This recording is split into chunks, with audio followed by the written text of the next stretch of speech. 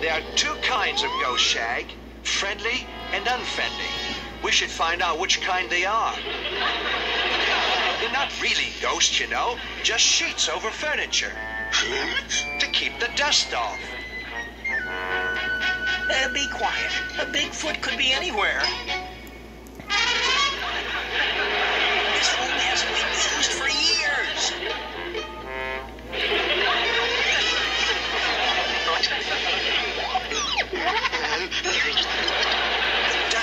bothering Scooby. Whatever you do, Scoob, don't sneeze.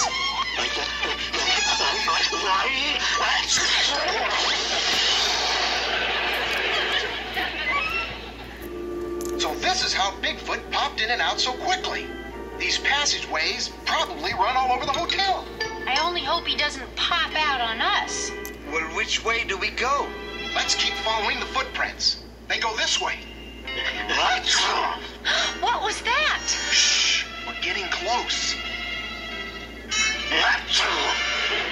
Scooby, use mine. Someone's coming.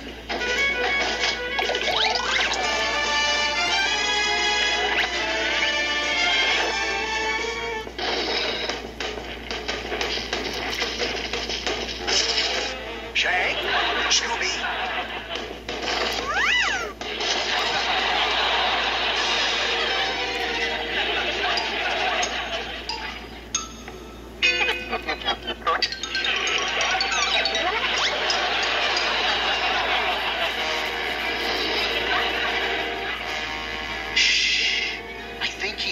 In this room.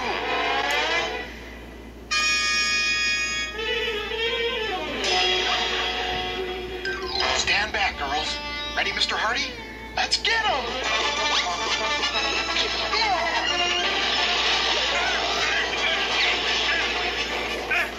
We've got him! Turn on the lights, girls! It's you. It's me. What are you doing there?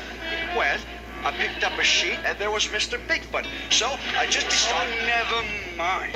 Where is Bigfoot? Looks like he disappeared again. But we did find something. A clue? No, a piano. A piano? Look, Ollie.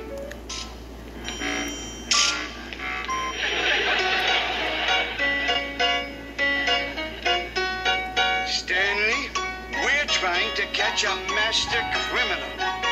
Can play another time.